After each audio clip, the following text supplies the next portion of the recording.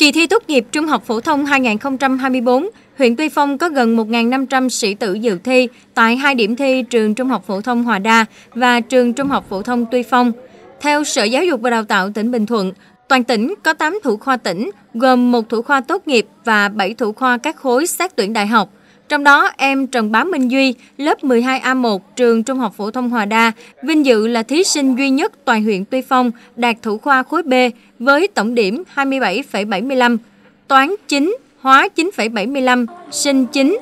Đây là niềm tự hào không chỉ của gia đình em Duy mà còn là niềm tự hào chung của ban lãnh đạo, đội ngũ giáo viên, người lao động cũng như học sinh trường Trung học phổ thông Hòa Đa. Được biết, những năm qua, ban lãnh đạo, các thầy cô giáo, người lao động tại trường không ngừng nâng cao chất lượng dạy và học, thực hiện tốt các nhiệm vụ yêu cầu đổi mới phương pháp dạy và học. Nhờ đó, chất lượng giáo dục không ngừng được nâng lên. Trong kỳ thi tốt nghiệp Trung học phổ thông 2024, trường Trung học phổ thông Hòa Đa có tỷ lệ độ tốt nghiệp đạt 98,02%. À, qua chủ nhiệm của cái à, lớp 12A1 thì à, thông tin nghe kết quả của à, của em là Minh Di thì à, là thủ kho của tỉnh khối bơi thì à, trong giáo viên chủ nhiệm thực tế là hơi, hơi là bò hồi và xúc động ừ. thì em Di trong học tập thì em à, học là rất chăm à, và trong lớp thì rất vui vẻ với các bạn trong lớp. Em Di là cũng là một em mà đạt cái giải ờ, thi học sinh giỏi của cấp tỉnh. À, mặc dù lớp ờ, lớp thì có 6, 6 bạn nhưng mà trong đó vẫn có bạn Di.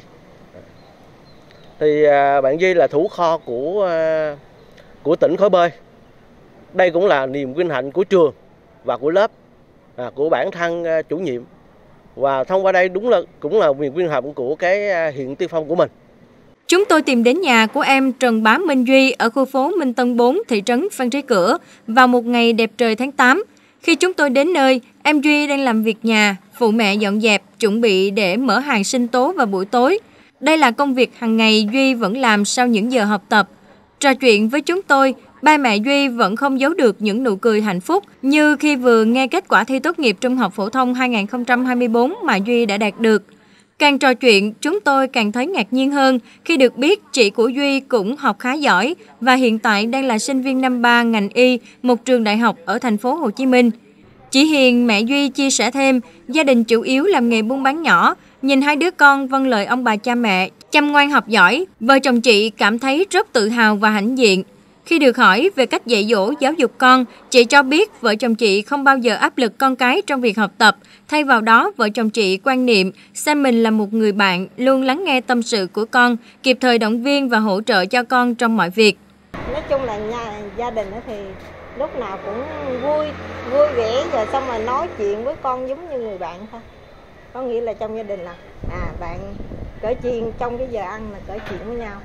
Rồi nói chuyện vui vẻ không có tạo một áp lực gì hết. Nó muốn học cái nào cũng được mãi sao tương lai tốt hơn. rồi à, trong quá trình học như vậy thì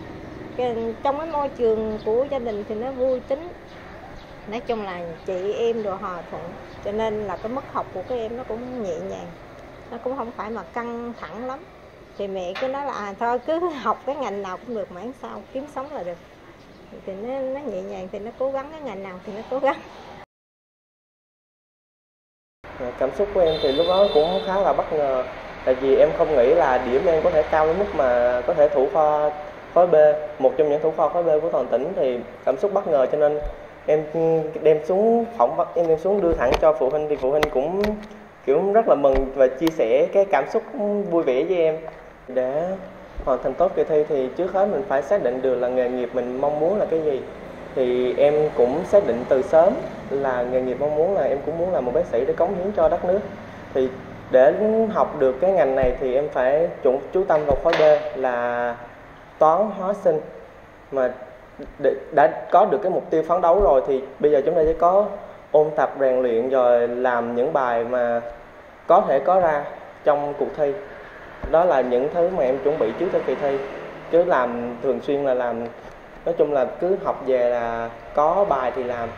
Dựa trên việc định hướng nghề nghiệp tương lai từ sớm, nắm vững kiến thức qua từng môn học trên lớp và ôn tập một cách có trọng tâm, trọng điểm, toàn diện, từ những kiến thức cơ bản đến nâng cao. Đó chính là bí quyết thành công của chàng trai trẻ Trần Bá Minh Duy. Được biết, trong suốt những năm cấp 3, ngoài việc học tập xuất sắc, Duy còn là một đoàn viên năng nổ, nhiệt huyết trong tất cả các hoạt động của đoàn trường, đoàn thị trấn. Khi biết được tin Duy đạt thủ khoa, các bạn đã gửi những lời chúc mừng, đồng thời qua đó các bạn cũng sẽ cố gắng phấn đấu để đạt được những thành tích tốt nhất. Em với bạn Duy thì chơi, chơi chung cũng ờ, khá là lâu rồi thì cũng uh, hoạt động cũng chung cũng khá lâu thì khi mà nghe bạn thủ kho như vậy thì em cũng như là một người bạn thì khá là bất ngờ cũng khá là vui khi mà bạn có một điểm số cao như vậy, và bạn cũng như là một cái gương để cho mà các bạn ờ, đồng trang lứa có thể mà noi theo và có thể mà cùng cố gắng để có mà thành công như sau này. À, thì ờ, đối với ờ, em Duy thì trong 3 năm học từ năm lớp 10 cho đến năm lớp 12 ngoài cái việc học tập là một trong những cái gương sáng về học tập thì bên cạnh đó trong cái phong trào công tác đoàn thì đồng chí Duy là một đồng chí được coi là có tinh thần trách nhiệm à, tích cực hòa đồng và luôn đoàn kết gắn bó với tập thể chi đoàn của lớp. Ngoài ra còn tích cực ờ, tham gia các cái phong trào của đoàn trường và trường tổ chức. À, được biết thì ờ, em Duy thì ờ, năm lớp 10 và năm lớp 11 là một trong những thành viên của Phan Lý Cửa khi mà tham gia chiến dịch hè. Ờ, và cũng đã gặt hái những cái ờ, kết quả cho bản thân và có thể có những cái trải nghiệm cho bản thân trong cái ờ, dịp hè. Thì bên cạnh cái vấn đề học tập thì đây là một trong những cái tấm gương sáng mà ngoài việc học tập ra thì phải là rèn luyện thông qua các cái phong trào hoạt động của của đoàn để cho đồng chí đó phát triển hơn nữa và cũng ờ, mong rằng thế hệ đoàn viên thanh niên tiếp theo của nhà trường hãy học tập và noi gương ờ, đồng chí Duy cả về trong học tập và phong trào để ờ, cho bản thân rèn luyện và trưởng thành cũng như là mang lại những cái thành tích cho nhà trường. Nói chung. Môi trường cấp 3 của em là môi trường tuyệt vời. Khi giáo viên giáo viên thì cống hiến hết sức mình để dạy, truyền đạt kiến thức cho chúng em. Là Ờ, và cũng là môi trường cấp 3 cũng là môi trường mà tiếp cho em những kiến thức và hành trang sống để mà em có thể uh, tự tin mà làm bài và phát triển bản thân. Thì em cũng tri ăn tới những giáo viên đã dạy không chỉ những bộ môn mà em thi trung học phổ thông mà là tất cả những bộ môn. Tại vì mỗi mỗi bộ môn đều có đều có những cái nền tảng riêng. Thì em cảm thấy rất biết ơn cho những giáo viên đã dạy em những năm qua trong cả 3 năm cấp 3 và không những thế là những năm em học tiểu học, trung học hay là như thế nào đó em đều biết ơn.